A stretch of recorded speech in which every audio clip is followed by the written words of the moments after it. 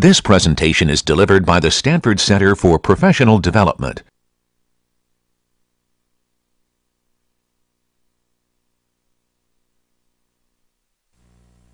Okay. Let's uh, get started. So, today movie segment is about a special actuator. Uh, probably you saw this on the first lecture, but we will see some more details. So this is uh, a flexible actuator that comes from uh, Toshiba. And this was developed in the early 90s. Uh, it was is a new presented at uh, microactuator for use in 1991 video proceedings. This new actuator is made of fiber-reinforced rubber and is driven pneumatically or hydraulically. It has three degrees of freedom, pitch, yaw, and stretch, which are adequate for robot mechanisms such as fingers, arms, or legs. The actuator has three internal chambers, and the pressure in each can be controlled independently through flexible tubes. The rubber is circularly reinforced with fiber to resist deformation in the radial direction. The actuator can be flexed in every direction by controlling the pressure in each chamber. I've developed actuators ranging in size from 1mm to 20mm in diameter. This is the 4mm actuator. The design is easily miniaturized because of its simple structure. This is a modified version. The rubber is reinforced spirally with fiber so that rotational movement is possible. We can apply these flexible microactuators to miniature robot manipulators. By connecting them serially, we get an arm with many degrees of freedom and snake-like movements. This is a prototype consisting of two actuators and a mini gripper. It has seven degrees of freedom, including the gripper. It can accomplish delicate tasks, which could be handled only with great difficulty by conventional robots. Constructing miniature robot manipulators is easy, because the actuators also act as the robot structure. On the other hand, combining the actuators in parallel results in a multi-fingered robot hand. They form a dexterous hand with a delicate touch. This prototype consists of four actuators, each 12 millimeters in diameter, and it has 12 degrees of freedom. Is able to handle fragile and complicated work with ease because the actuators deform to suit the shape of the workpiece itself.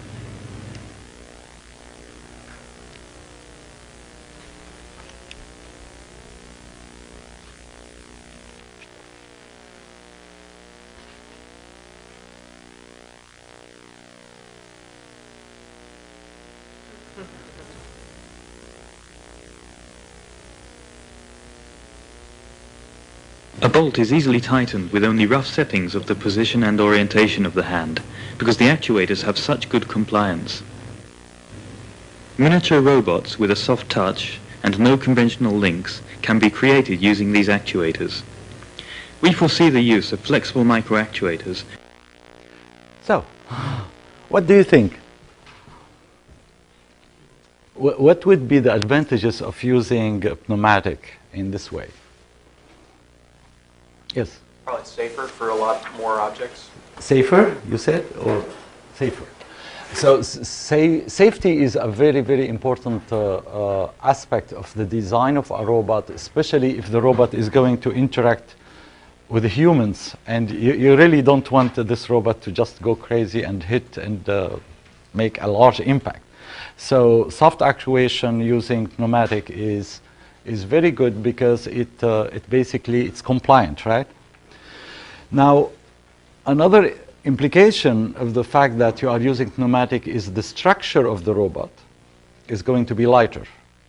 Because if you think about operating these fingers with the motors, or if you like think about an arm with motors, uh, you need to carry the motors, you need to put gears, you need uh, a lot of structure to, to, to handle it. So definitely this is lighter, safer, more flexible, compliant, all of that. Any disadvantage you can see? Yes? Harder to control? Yeah, basically, well, I mean, um, depends what you want to achieve, but uh, uh, you can not expect to achieve all the tasks. What kind of tasks you cannot control with this uh, type of uh, actuation? Maybe precise motion. Size motion or fast dynamics if you want to change directions and uh, because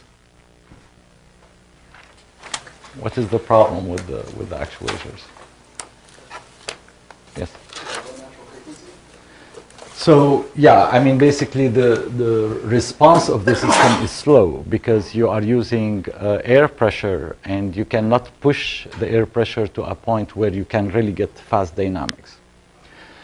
Uh, well, later on in the quarter, we will see uh, a concept that combines this idea of using pneumatic, which is light to carry, and uh, would result into a nice uh, light structure, combine it with uh, other type of actuation to bring hybrid actuation in a way that combines both the advantages of uh, the light structure and the fast dynamics that we need to achieve uh, all the different tasks that re- would require the robot to respond quickly.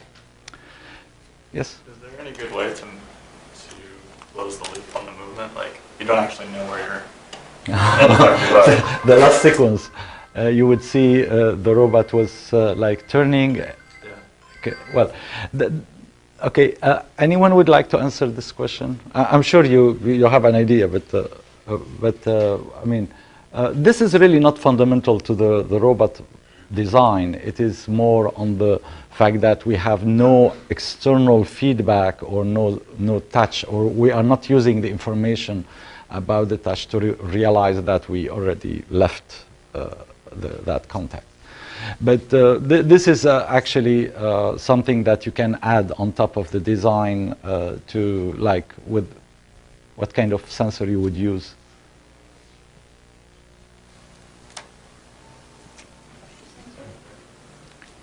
A pressure sensor? Uh, touch sensor, yeah, yeah, you mean like you, you want to know if you are touching or not? Right. I mean, the pressure would be. I guess um, since like for a rotary joint, so you got an encoder, to know exactly like how far you are. Um, but with something like that, like curvature is going to change depending on what it's touching and everything. Like, yeah, you could put something that exactly tells you the position of the end. So we, we, we can put a sensor at the end uh, that uh, is lo- localized at uh, the, the tip of uh, the finger, and then we can feel whether the sensor is, is on or off. That is just touch. But if you want uh, more information about the pressure, you need a sensor, uh, the tactile sensor that would measure. But then, then the problem, I mean, now, now we, we come into a, a, a much harder problem, which is the fact that if you're holding something, let's, let's imagine with your two fingers you're holding something, and uh, there is always slip. So you need to measure uh, the slip so that you, you can apply uh, l- larger pressure. And to do that, you need uh, sort of uh, dynamic tactile sensing. So there has been a lot of work actually in the group of uh, Mark Cutkosky, uh, uh, a lot of research on tactile sensing, dynamic tactile sensing, and uh, also the idea of using uh, uh, pressure is a very good idea because in fact uh, by measuring the pressure and the control pressure if there is a, a difference between what you are expecting and what you see you will be able to deduce some information about the contact there was a comment here So you could put uh, stretch sensors on the surface, and we'll use those to find the position. Yes. Now, if you instrument the environment, uh, obviously you will be able to get a lot of information about the environment, but that is costly. So you want more to put the sensors on the robot. But uh, there is another type of sensor that will give you more information about the environment, that uh, especially uh, ab- about whether you are in, I mean, close or not, or I mean, like to, to, to lo- localize and see where things are to see where things are to see to see what, what do we use vision put a couple of cameras and you would see where, where you are with respect to the world and uh, so you have a mechanism, you have the controllers, but really you need to close the loop. But to close the loop, you need perception. And perception could use sensors uh, in the environment, sensor uh, external that are monitoring the environment, or instrumentation on the robot itself. Anyway, this uh, Qt design uh, actually was pursued for a couple of years. They built even uh, a big robot that is walking with those uh, legs, and I- I'm not sure if we will see it, but uh, then th- this project just, I mean, didn't go any further. It is like many of the designs that make use of air pressure only, you end up with really limitations, a lot of limitations on the use of, um, on, on, on the ability of the robot to perform tasks.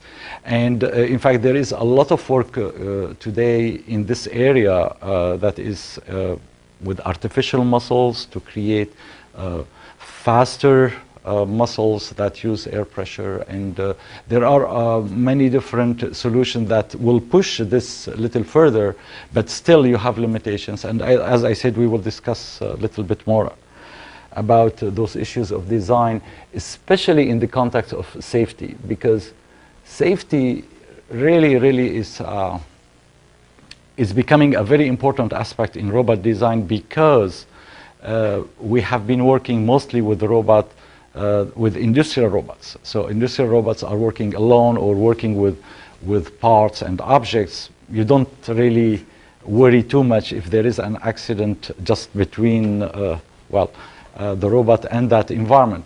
But if you are going to work with humans, you really have to make sure that there is no danger to the human, and that is really a challenging problem. So we will come back to this later. Any other comment about this? Okay. All right. So let's uh, go back to uh, the lecture. Uh, so last time we, we saw this tool we call homogeneous transform. And the homogeneous transform uh, really uh, has several interpretations or can fulfill uh, several functions. And the first one of them is the fact that transformation like this allow us to describe the frame. So frame B is described with respect to frame A given this transformation. So if I know the homogeneous transformation between B and A, that is this 4 by 4 T matrix that describes A, uh, B in, in, with a relation to A, then I have a description of this frame B. And this description contains the rotation of the axis of frame B with respect to A, and the location of the origin of frame B with respect to frame A. Now, we saw also that there is another uh, role this homogeneous transformation can play, and uh, the second role, or third role, whatever, do you have an idea what, what can we use this transformation for?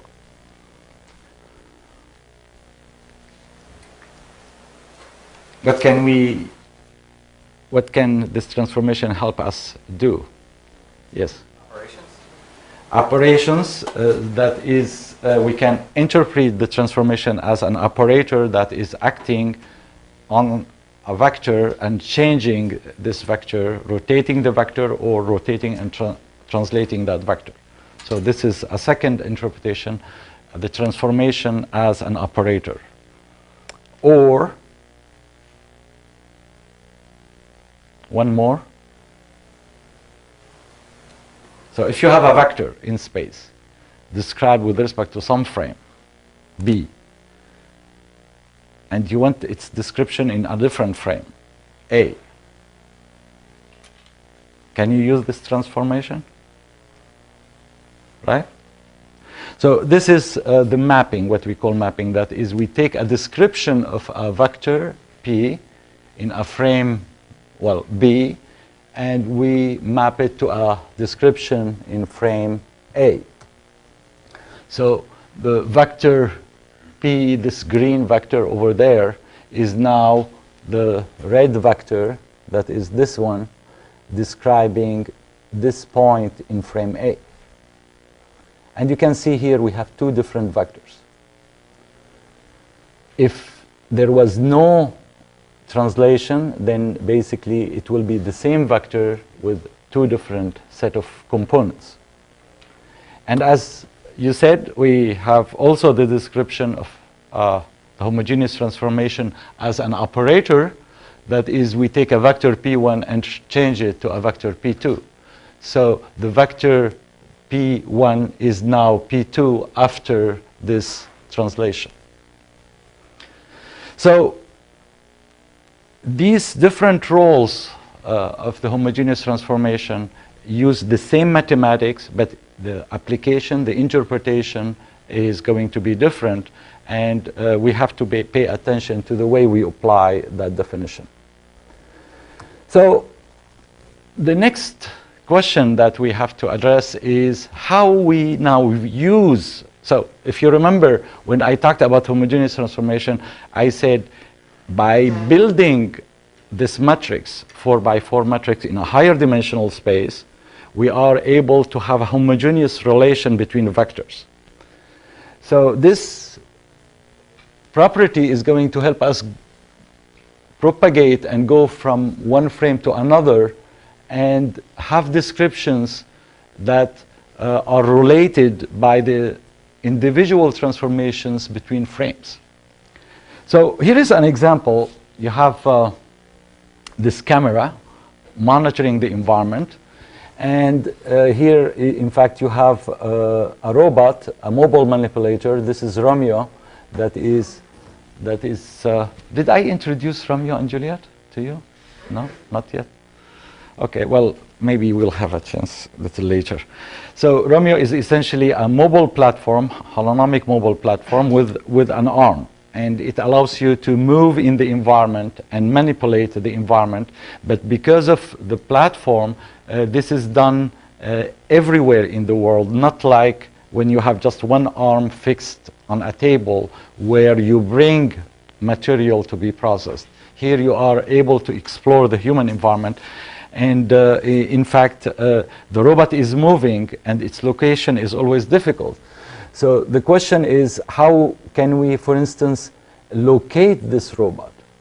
So you need to find uh, actually the transformation between the base frame of the robot with respect to the camera. This is a little bit difficult uh, unless you are able to, well, to find elements and different things. So suppose the camera is monitoring the end effector.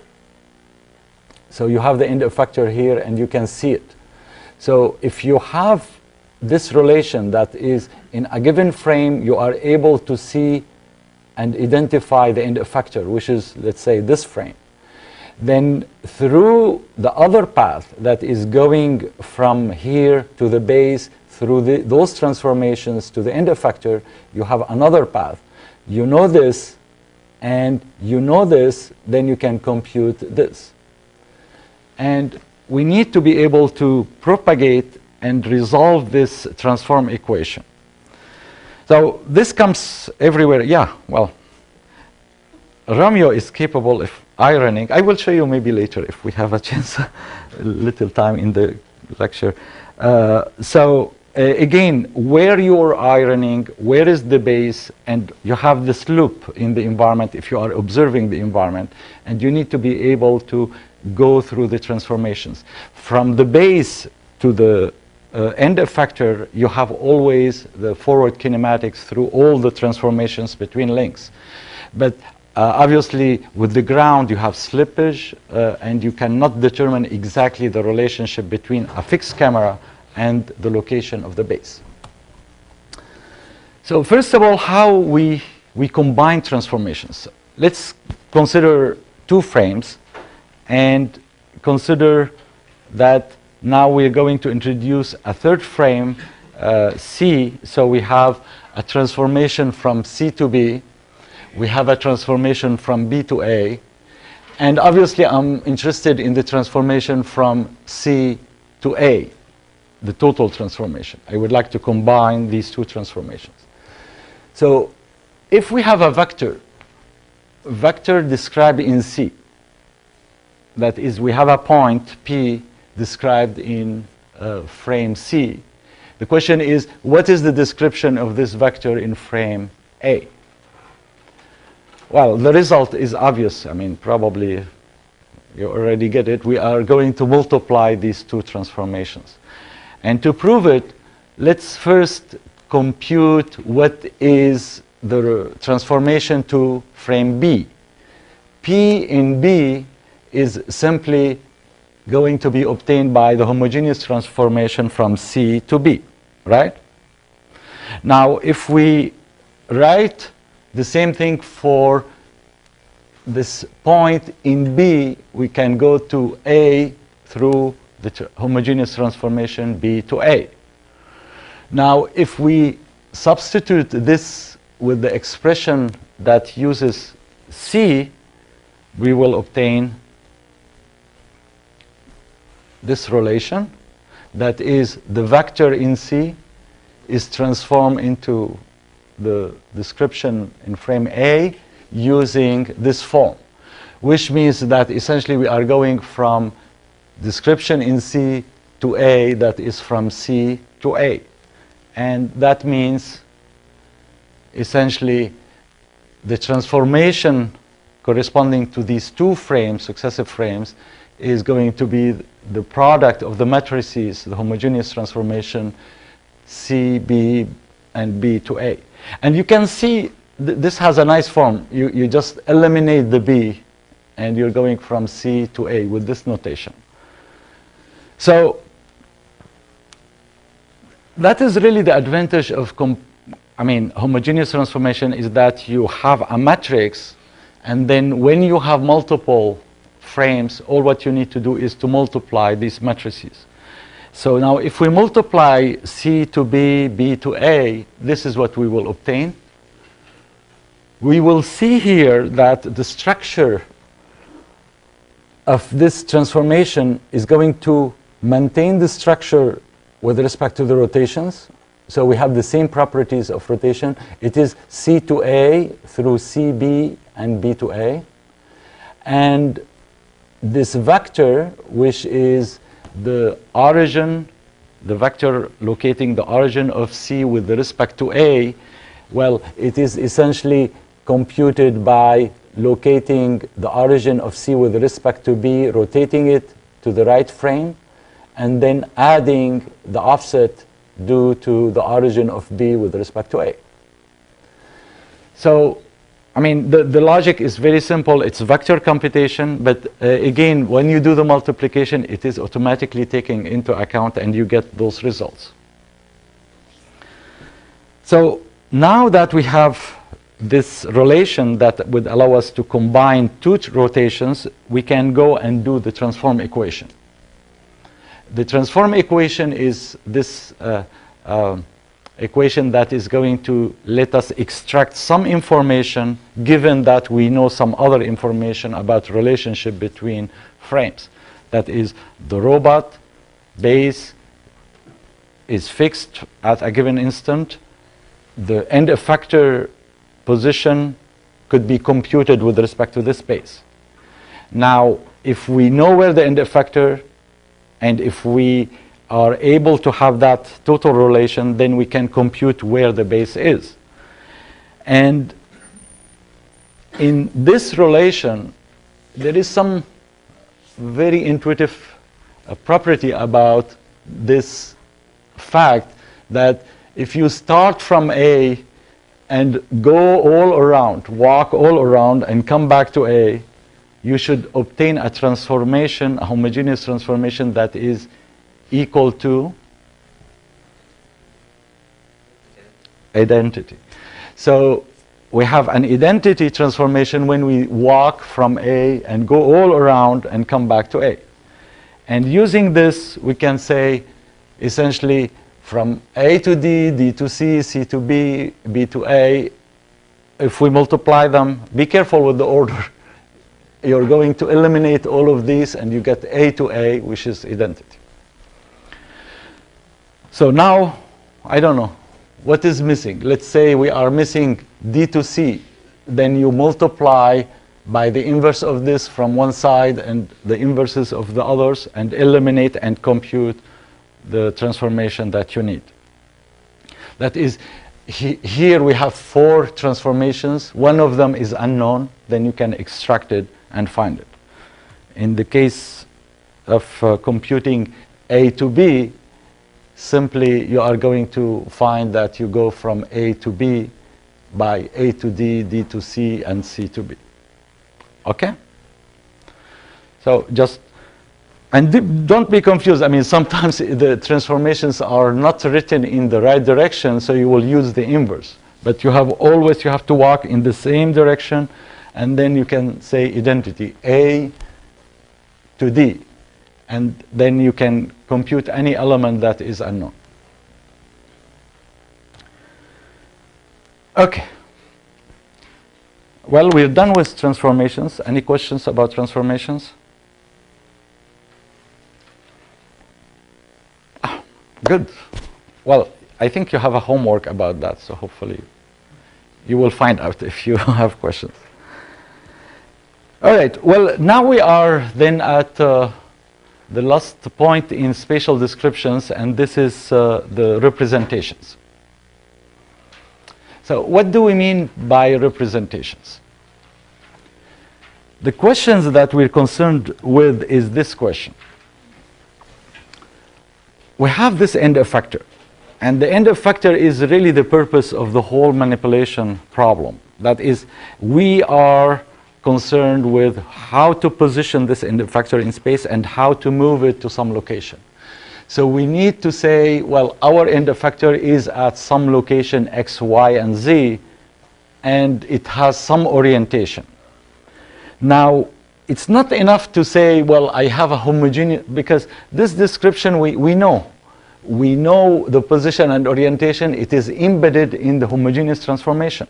We know the relationship from the end effector to the base frame through T, and you're going to find that relation when we finish the forward kinematics, when we uh, uh, complete the forward kinematics, you're going to be able to say my end effector transformation to th- with respect to the base is given by T. And this T will come from the description of the manipulator, so the link length, the angles uh, uh, of tilting and, and characteristics of the, of the links, and also it will be function of what? What other th- parameters will be involved in T? So, here is the manipulator. It's moving. At this configuration, how can I compute this position and orientation?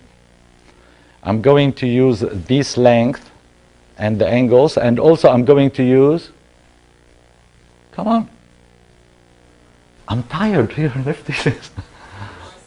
the joint, the joint, Angles. the joint angles. I need the joint angles. So what is variable? What is changing as I'm, I'm moving? So t is going to be function of coefficients that are constant depending on this manipulator and the joint angles. So t will vary with joint angles, right? So the configuration of the robot will affect where this end effector is going to be. So we will be able to find the t as a function of the joint angles, and it will be a matrix 4 by 4. And this matrix will contain, for each configuration, the description of the homogeneous transformation. Okay? So at a given configuration, we measure the encoders, we read the encoders, and then can, we can compute t and say, my homogeneous transformation for the end effector is this. Now the question is where, where is the position of the end effector? And what orientation it, ha- i- the end effector has. The question is important because I'm not only concerned about positioning the end effector, I'm going later to move it following a trajectory. I need to think about the velocity. So I need some description of coordinate that would give me like coordinate x, then I can compute x dot. eventually acceleration. So I need a set of coordinates. Okay? So, what we need to do then is to extract from T the position description and the orientation description. And say, I have a description, something like, I don't know, I have the position and I have the orientation. I have a set of parameters x, xp for the position and xr for the orientation, right? Because I cannot take t and uh, take the derivative of t and just uh, uh, say, well, I'm going to build a trajectory directly with t. You understand? All right. So where can we find xp? What is the inform where is the information about xp in T?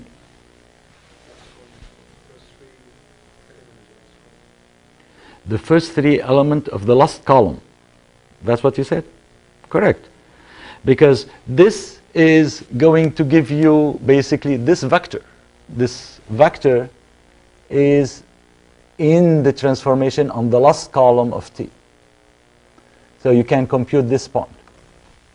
And that would be a description x, y, and z of the effector position. Where is the orientation? At least where I can find information about the orientation. In T. Yeah, so it will be the first three columns corresponding to this R matrix, the rotation matrix in T. Okay, now how should I represent X? Because you said X, Y, and Z, but there are other possible representations. So for the position, I could say I take that position and it is represented by X, Y, and Z. So this is the Cartesian representation. But I can select these angles, theta, and the projection of that on the plane xy and come up with a cylindrical representation. Or I take that other angle and come up with a spherical representation. So there are several way, ways of representing that position. And most of the time we will use Cartesian coordinates.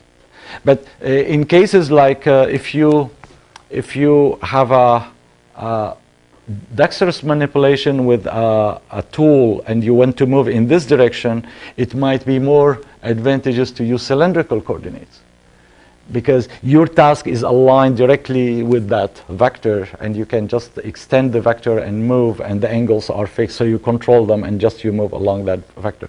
So other representations are also very useful in different tasks for different tasks.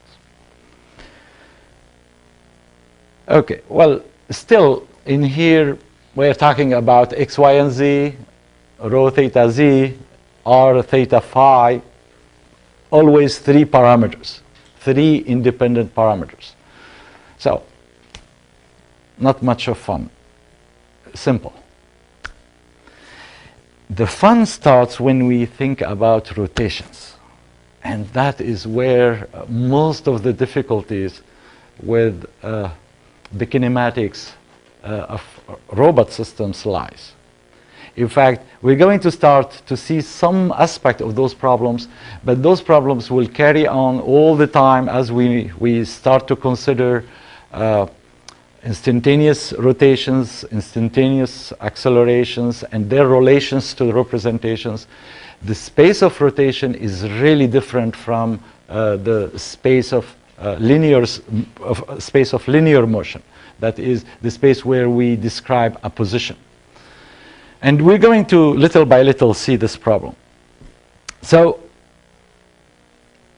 the first complete representation that contains all the information about rotation is our rotation matrix. So in this rotation matrix, everything is there about the orientation. I have an object held in the end effector basically there is a frame x, y, and z that is going to rotate with this object. And if I take x, y, and z frame and take its component with respect to the reference frame, that will be my total rotation.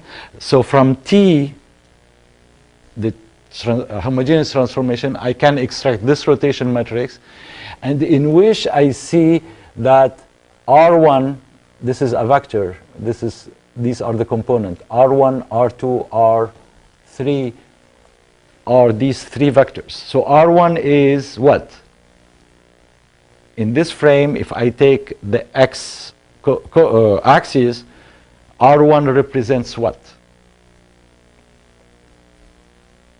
What is the definition of the basic definition of the rotation matrix?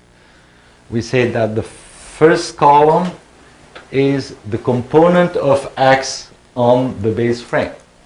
So R1 is really the component of x. R2 is the component of y and R3 component of z.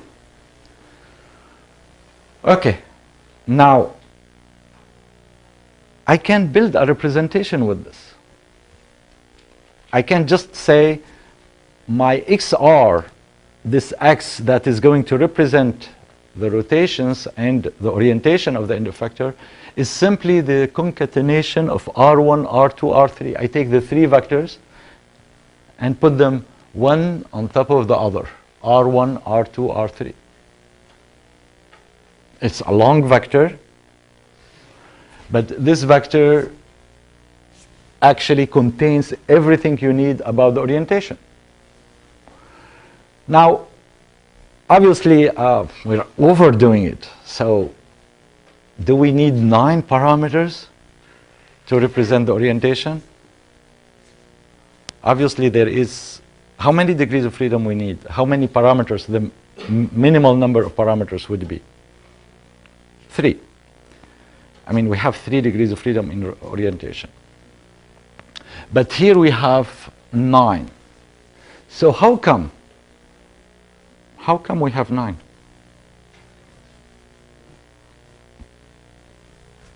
Well, each one of those vectors is a unit vector, so the third component is already predetermined. That- Okay, so we have sort of three relations of normalization associated with R1, R2, R3. So this is three constraints. Good. We need more. 9 minus 3 was still 6. I need three more. Yes. Each of those vectors is also perpendicular. Uh-huh.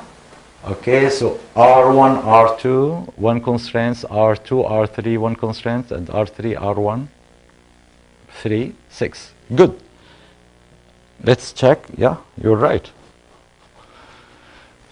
So 6 and you have 9, basically you have yet, yeah, actually 3 degrees of freedom. Now, this is a redundant representation redundant in the sense that the parameters we are using are not independent. And that creates a problem. That is, you cannot say, so what is the problem with that? I don't know if you realize the problem. Uh, think about motion. I'm going to, I'm going to take this and rotate it like this.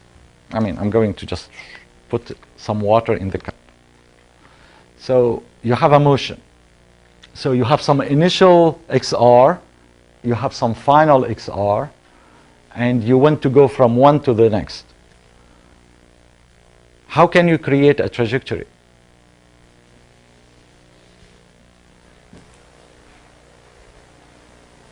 You see the problem? So, okay.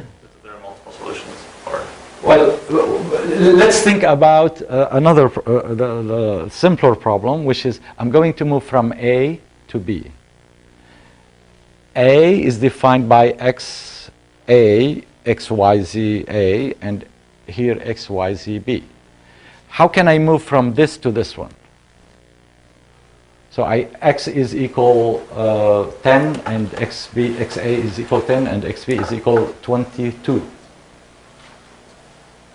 So slope and try Yeah. I can I can interpolate, and every every point is valid. Okay. Now let's interpolate XR1. I mean the first configuration and the final configuration. If you do the interpolation, you will violate those constraints. If you just do linear uh, interpolation between the two, you cannot take that. They are not independent, so you have to monitor what is happening. So it is it's very difficult to just work with this directly as, as uh, x, y, and z. What is happening with the rotation is that you are moving over a sphere, SO3, in that space, whereas x, y, z are moving in the free space. And you have to deal with this, these constraints. Okay. So what other representations we have? Oh, come on. Yeah, you know them. so if, if we don't use the vectors associated with the frames, what can we say about the orientation? There are these angles, right? What angles? Euler angles, exactly. Euler angles are very, very useful. Uh, now, there are many different ways, in fact, of talking about an angular representation. The three angle representations, I mean, you can count maybe 24 of them. We distinguish between Euler angles, the fixed angles that we use in aviation, and uh, each of them has like sort of 12 different representation. And those representation come from the way we obtain these angles. So you have a frame and you're going to try to find the frame B and the relationship between the two uh, using three angles. So what do you do? You have many options. You can go to this axis and rotate about this axis first. And then once you rotate about this axis with some angle, then you can go and rotate about this one. And then after you can come back to the same axis and do the rotation, or you go to a third axis. And so you have, uh, and maybe you can start from the y-axis first. And so that's why you have a lot of different ways of doing it. All right. But you end up always with three angles. But you, you need to know which axis you're rotating about. And whether after the first rotation you rotated about the first axis, there is no problem. You get some intermediate configuration. But next you can rotate about the new axis that resulting from the first rotation. So this is like relative rotation with respect to the frame created after the first rotation, or you can maintain your rotations, three rotations about fixed axes.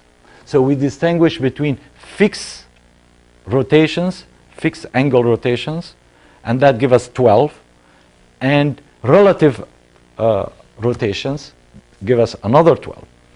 Euler angles are the relative ones, and the fixed ones are uh, the what we call fixed angle rotations. Okay, so let's start from the beginning. I'm going to go to this configuration by first putting the two frames together. Okay? All right. Let's rotate. I'm going to rotate about the x-axis with some angle. This is the first rotation.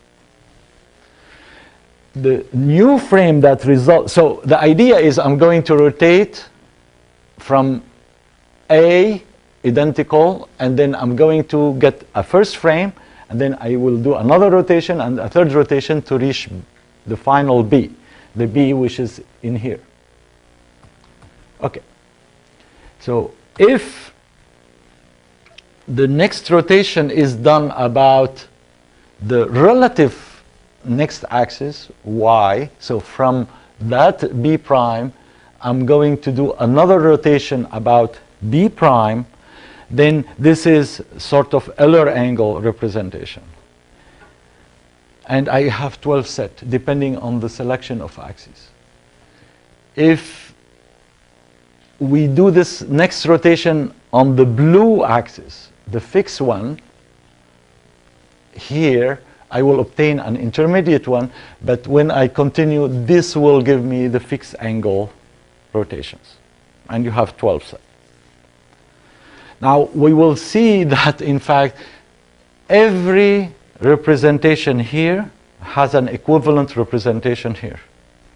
So in total, we do not have 24 different representations. We have only 12 that could be represented, obtained from relative axis or fixed angle axis. Okay? So in total, you have only 12.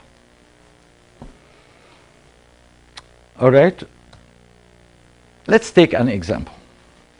I'm going to take uh, the rotation z, y, x, which means we will start with a rotation about the z-axis, then y, then x.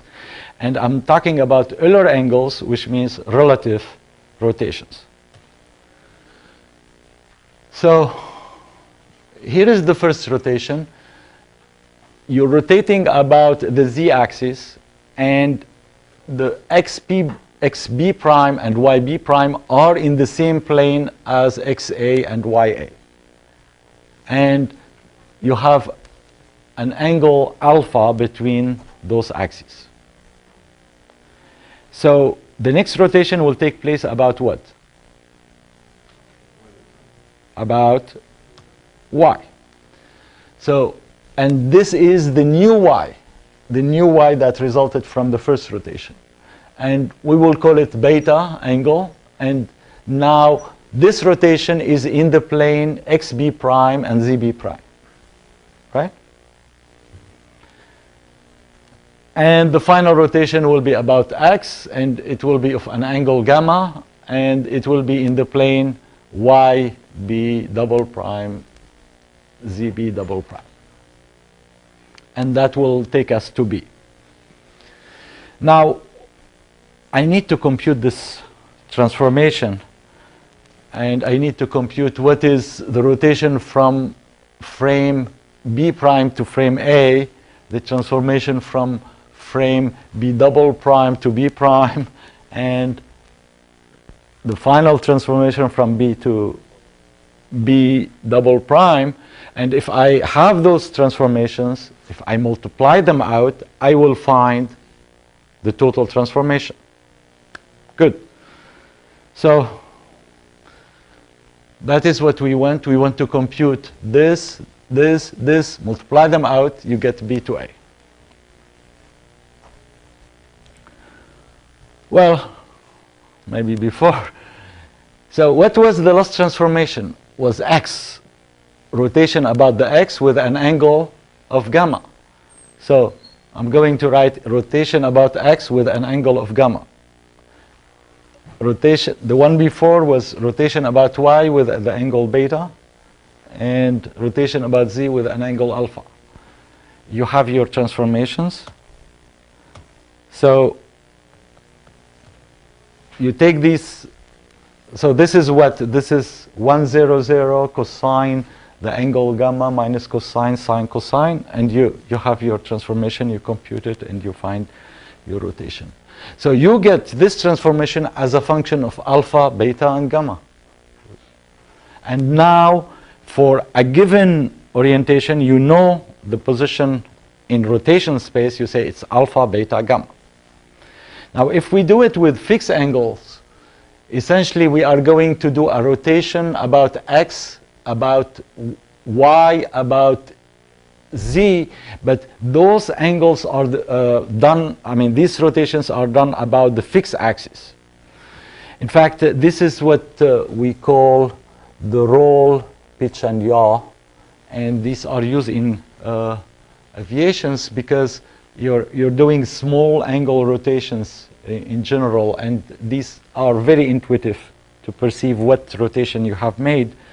And the computation of these comes to be very simple because if you think about the rotation x with the angle gamma, that first rotation, it, if you have a vector v, this vector is transformed by the rotation about x with this angle.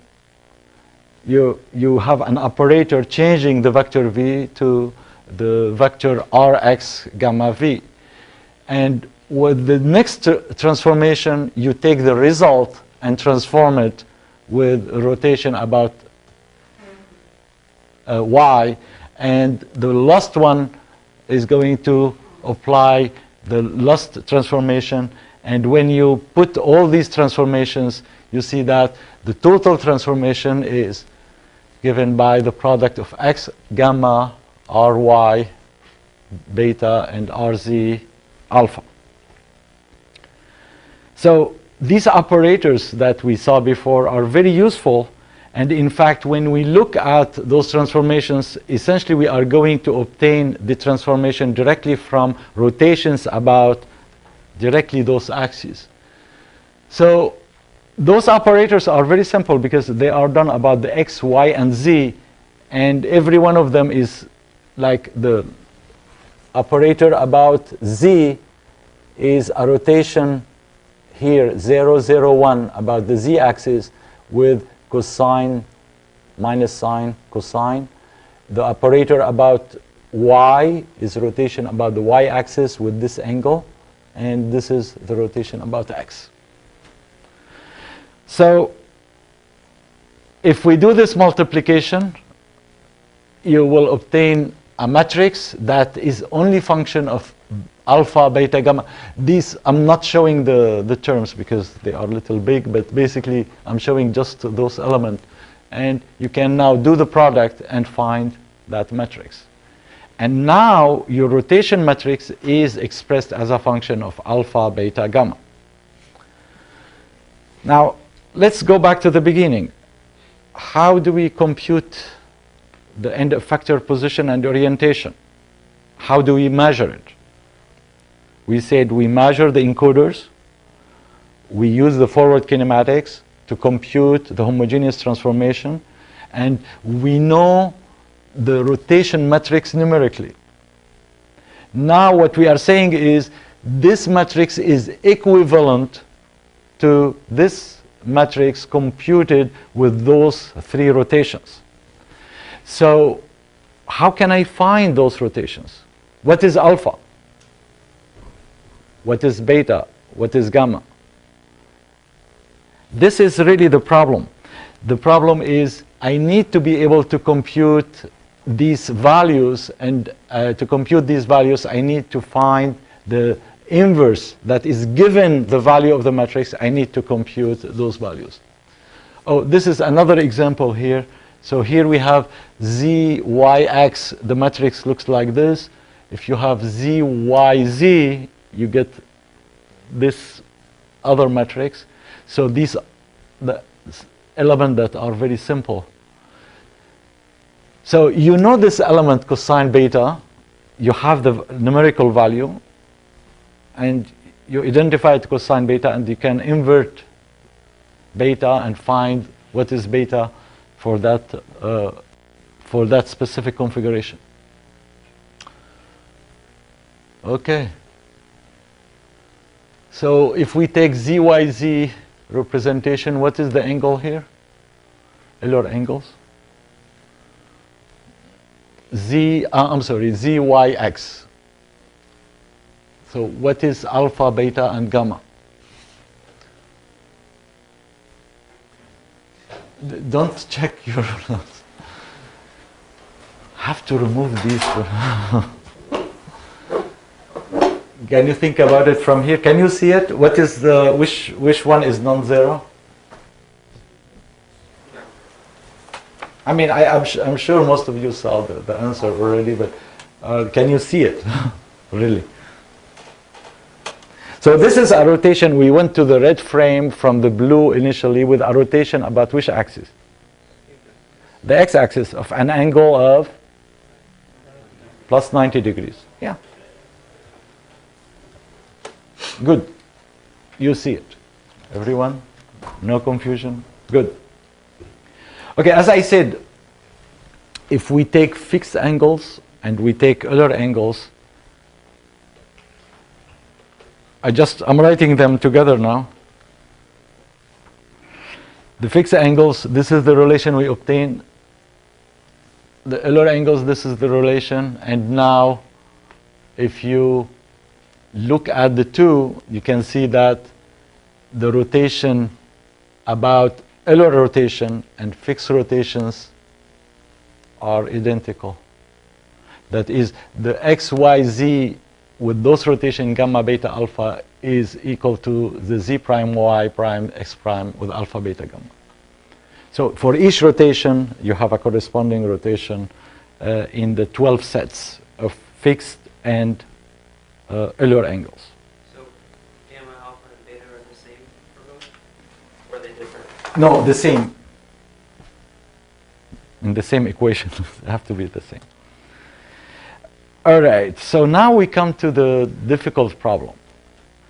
The problem I mentioned earlier, which is that how you obtain these alpha, beta, gamma, how you obtain your representation from your measurement.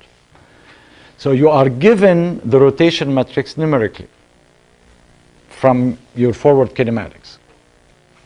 So you know R from B to A, and the question is what is alpha, beta, gamma? Well, I mean, essentially, I need to identify each element from B to A, so I know R11, R12, R13. I need to identify them to the rotation matrix. So now you have the full matrix, and uh, you have five minutes. so how do we do that?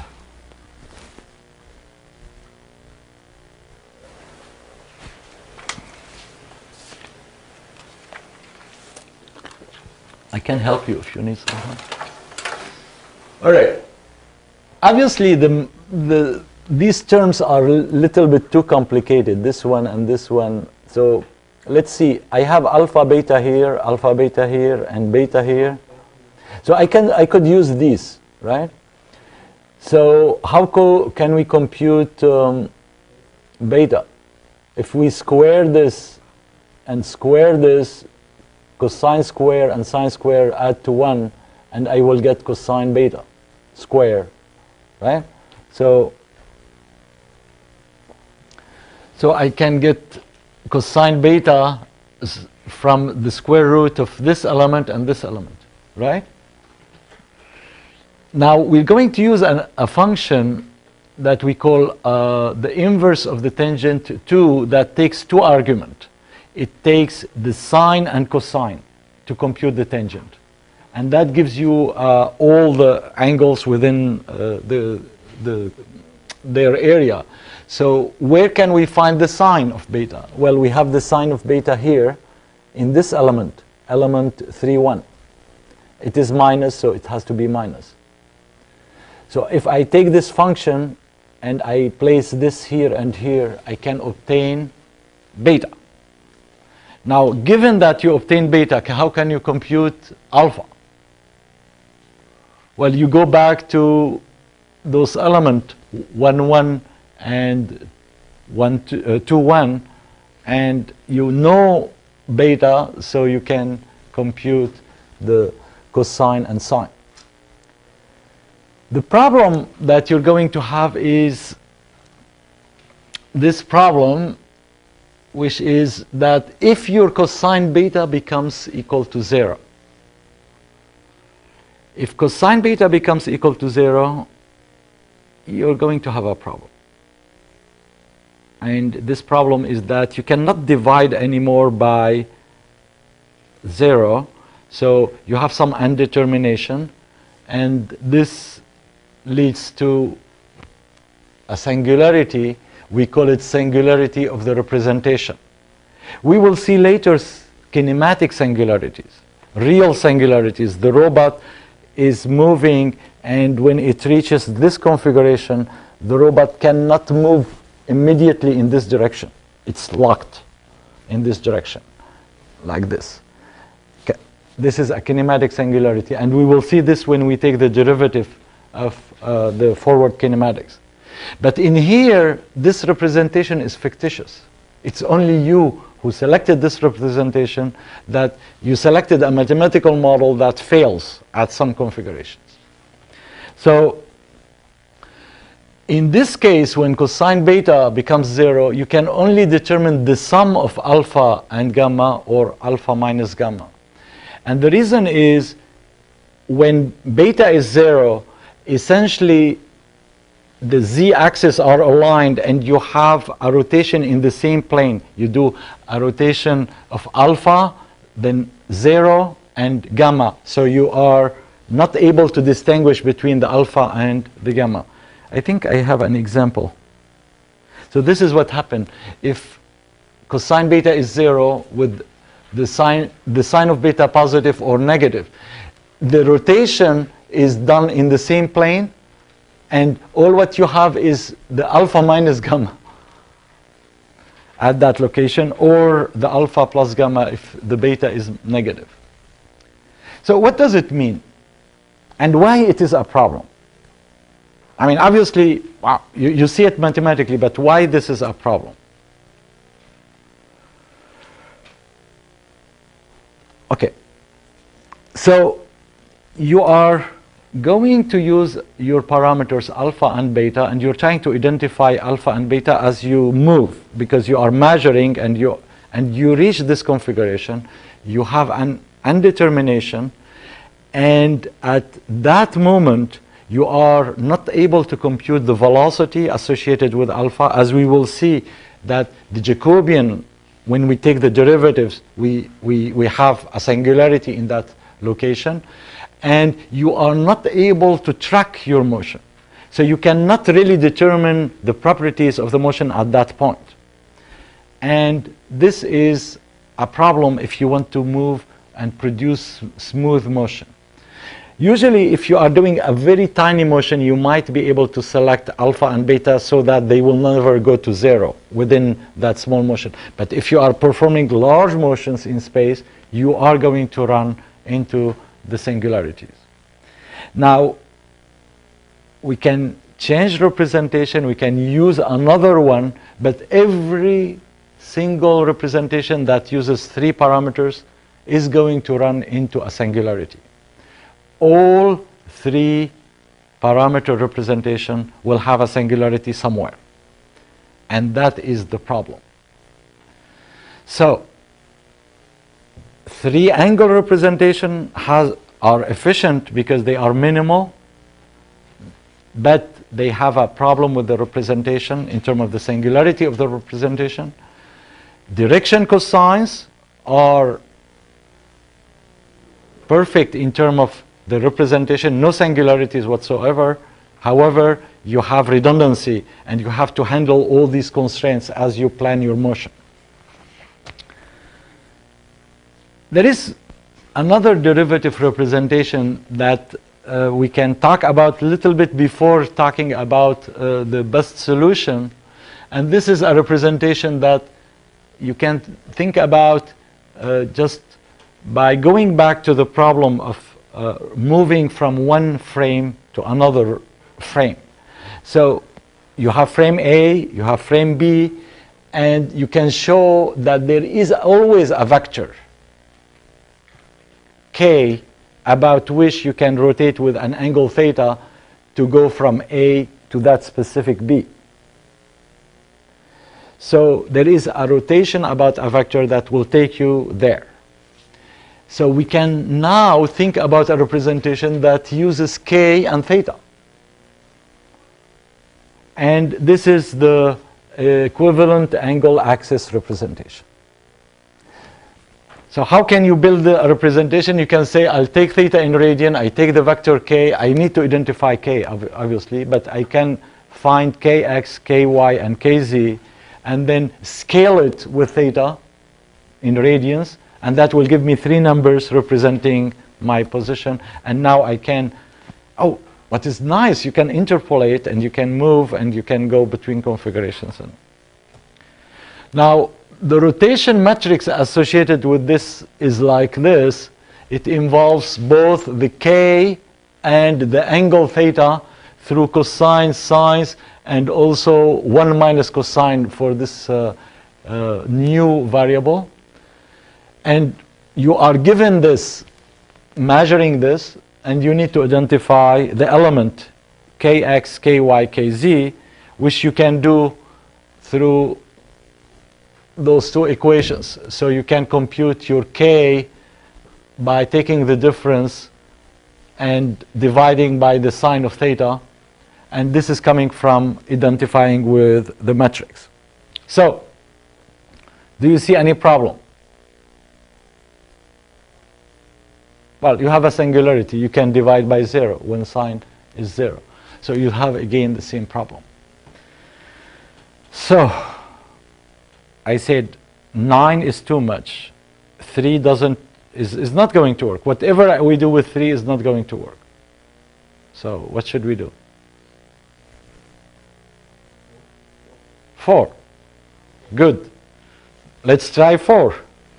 Well, this is what, what actually the Euler parameters do. They now take the same concept. I take the vector. I know I can rotate with a vector. But instead of taking the angle and scaling it, I'm going to track correctly everything.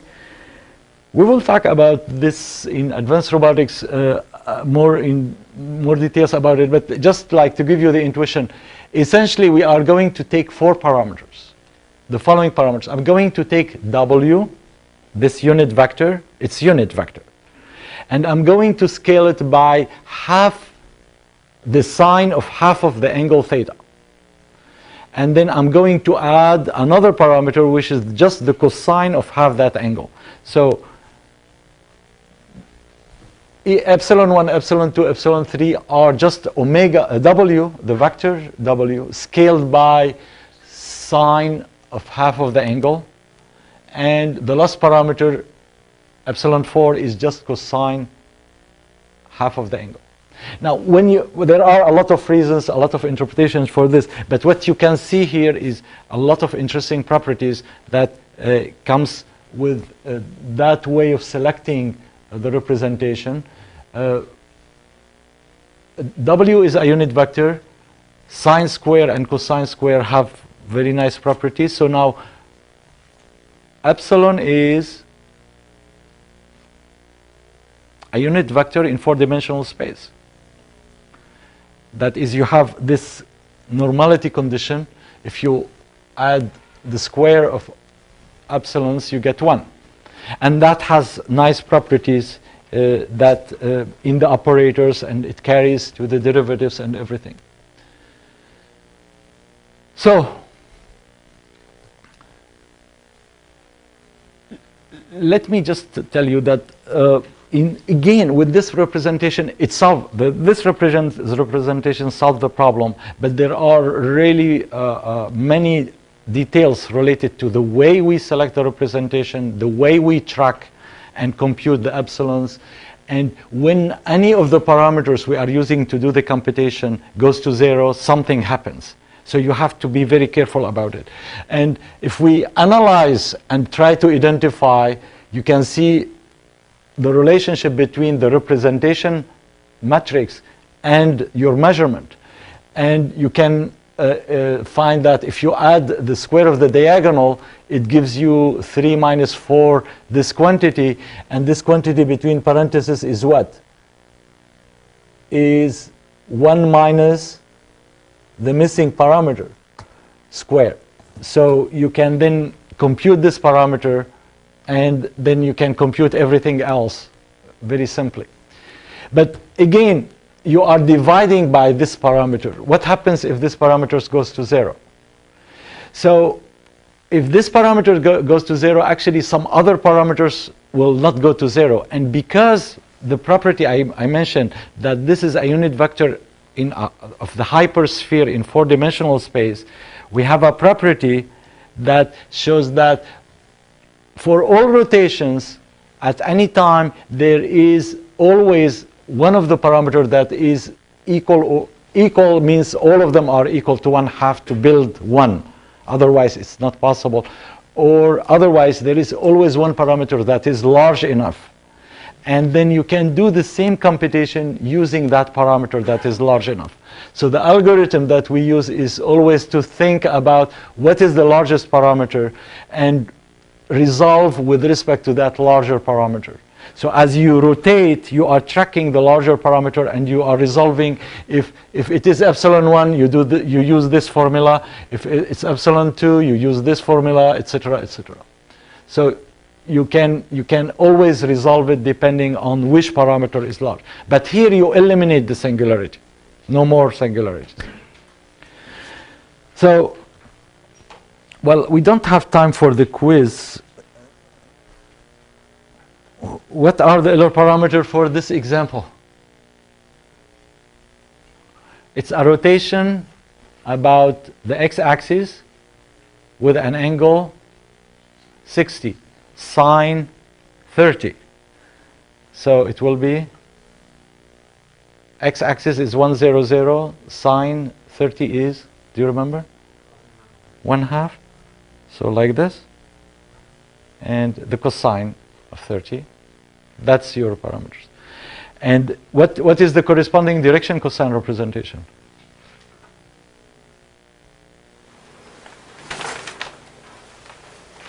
the first column is going to be 100 and then you get the sine and cosine of the angle. All right wow. We're done. I can't believe it. On time. Okay so have a nice break and uh, i will see you next wednesday